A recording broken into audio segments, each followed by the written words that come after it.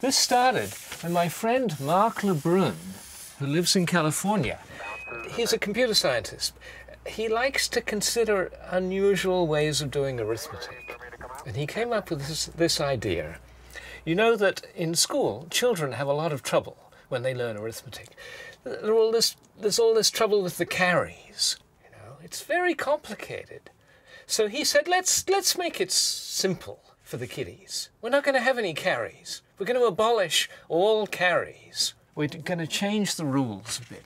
Now, when you add two digits, two numbers, like 7 and 8, the result is not 15 anymore. On the moon, it's 8. You pick the bigger of the two numbers. So 1 plus 1 is 1, sure. 1 plus 2 is 2. When you multiply, you pick the smaller. So 1 times 2 is 1.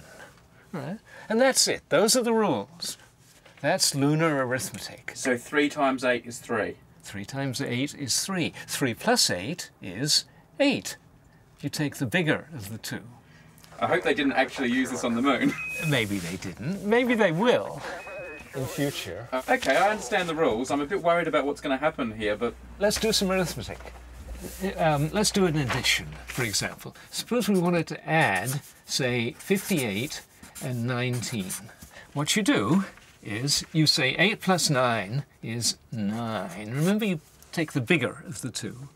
And there are no carries. 8 plus 9 is 9. 1 plus 5 is 5. You take the bigger of the two. Bigger of 1 and 5 is 5. The biggest of 9 and 8 is 9. So 58 plus 19 is equal to 59. That's lunar addition. What about multiplication? Suppose we want to multiply, say, 17 by 24. Remember, digit by digit. So four sevens are 4. four. Very good. You pick the smaller. Four ones are one. And now two sevens. Two sevens are two, two ones are one. And now we add them up. One, one plus two is two. You pick the bigger of the two and you bring down the four. So 17 times 24 is equal to 124 on the moon. So now you can do a lot of arithmetic in lunar arithmetic, and you can produce a lot of interesting number sequences. Uh, Roger, Neil, we're reading you loud and clear. Let's see, getting some pictures and uh, the contingency sample. 35 and a half minutes of PLSS time expended now. Beautiful view. Isn't that something? Magnificent desolation. What are the squares in lunar arithmetic? What's 1 times 1? Is 1. 2 times 2 is equal to, pick the smaller, it's 2. 3 times 3, 3 squared is 3.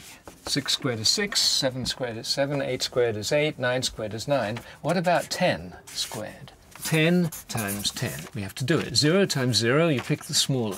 0 times 1 is 0. 1 times 0 is 0. 1 times 1 is 1. You add them up. 1. 0 plus 0, pick the bigger, is 0. And we get 100, just like back on Earth. But what about 11 squared? Well, we have to do it. 1, 1 times 1, 1.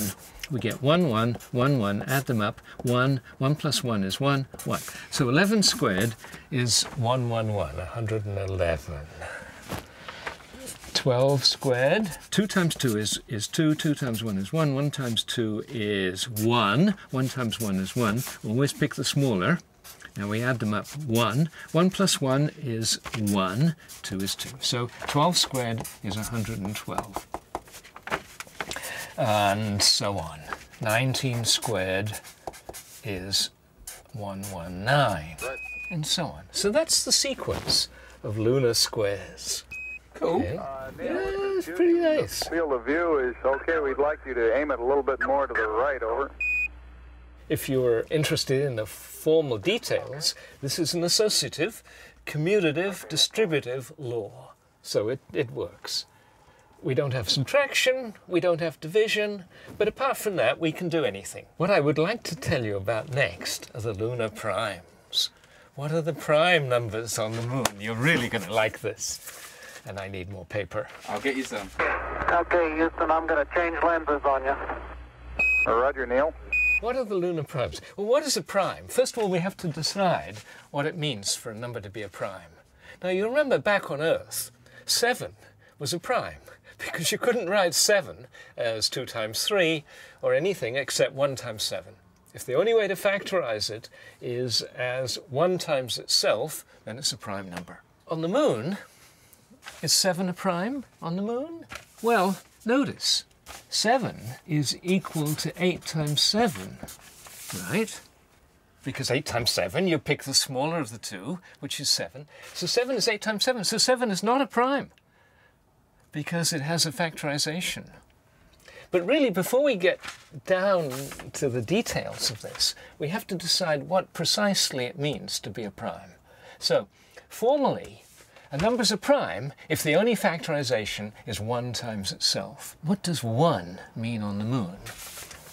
We have to say, what is 1? I'll put it in quotes. On the moon. Well, what is 1? 1 has the property that if you multiply anything by 1, you get what you started with. 1 times 3 is 3. 1 times 111 is 111. Right? On the moon, that's not true. 1 times 3 on the moon is not 3, it's 1. 1 times a, well, 1 times 111 happens to be 111 by accident. But 1, um, 1 on the moon, 1 times anything is basically all ones and zeros. 1 times 30 is 10 because you go through digit by digit and pick the smaller. So 1 on the moon is not 1. What is 1 on the moon? Would you care to make a guess? What's the number? Is it?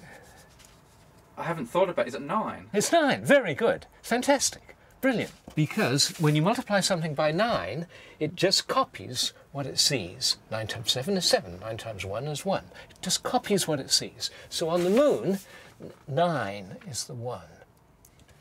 So on the moon, a prime number has the property that the only way you can factorize it is 9 times itself. So 7 is obviously not a prime because 7 is equal to 8 times 7. What about 8? 8 is not a prime because 8 is equal to 8 times 8.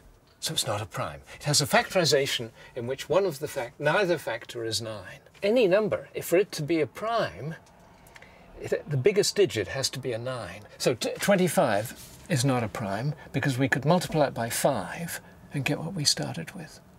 So we've got to have a 9 in the number. So 19 is the smallest. We must have a 9. There's no way to build 19 except what? 19. times 9. Right. You can't factorize because it's got a 9 in it. So if it, if it was 18, we can multiply 18 by 8 and get 18. We'd have a factorization. So you can always multiply by the biggest digit and get what you started with. So the big, biggest digit had better be 9. These primes are going to be rare then. Yes, but not all that rare. So, uh, how rare are they? Well, let's look at the prime numbers. So, what about 9 itself?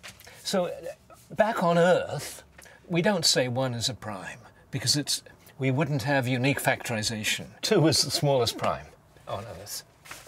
Um, but on the Moon, just as 1 isn't a prime on, on Earth, 9 isn't a prime. But apart from that, um, uh, we, we get 19. So the primes, the lunar primes, 19, 29, 39, 49, 59, 69, 79, 89, 90 is a prime, 91. As long as there's a 9 and there's no obvious way to factorize it, you have to check that 90 is a prime. We can't get 90 by multiplying two numbers. You have to check it, but it's true. It's easy to check. 99, we get 109, yes, that's a prime, but 119 is not because, as we saw a moment ago, 19 times 19 is 119.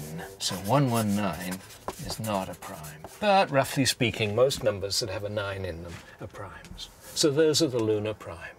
If we were to go to the OEIS and we in the search window we type lunar primes. We used to call them dismal primes because teaching of arithmetic in schools was so dismal. It's a dismal definition. I think we like lunar primes much better. So, well, I can show you the graph. There are two graphs. One of the first 200 terms, technically it's called a pin plot because we draw little pins. You don't see the pins there because they're quite dense. And then you get a scatter plot, just a plain graph of however many terms we have, and it looks like we're getting about, what is it, 2,500 terms. There's one more thing I would like to show you. I'd like to prove that there are infinitely many primes. You remember Lunar uh, primes. infinitely many lunar primes. Right. First of all, I'll prove that 109 is prime. And the proof of that is, suppose it wasn't. It would have to be the product of two two-digit numbers. They would have to be two-digit numbers because of the rules. So it would have to be AB times CD. But we've got to get a 1 at the beginning. So 1 of A and C, remember how it works, the table, uh, the multiplication, um, the tableau. To get a 1 at the beginning, either A or C has to be a 1. And to get a 9 at the end, both B and D have to be 9s. That's the, other, the only possibility, because when we do the multiplication, 9 times 9 is 9. 9 times 1, well, that's, that's 1. Pick the smaller of the two. Okay, now we do the C. C times 9 is, well, it's C, whatever C is. Multiplying it by 9 doesn't change it. And C times 1, well, C can't be 0, so it's going to be 1. Now we add them up and we get 1. 1 plus C, I don't know what it is, it's the bigger of 1 and C. Well, it's going to be C. It could be 1. Anyway, what we get is the number 1C9. But C can't be 0. Because if C was 0, we wouldn't get the 1 in front. So this can't happen. This is a contradiction. If c was equal to 0, we wouldn't get the 1 in front. We cannot factorize 109 as a product of two primes. And then likewise, 1, 0, 0, 0, 0, 9 is prime by the same argument. That's one small step for man, There are infinitely many primes. one giant leap for mankind. Yeah, no matter how many, you can put as many zeros there As as many you zeros as you want, and you get a prime. So, want. Nice proof. yeah, yeah, nice theorem. Lunar primes, lunar arithmetic. Okay, Neil, we can see you coming down the ladder now. Neil, we can see you coming. numbers are the ones that the mathematicians like.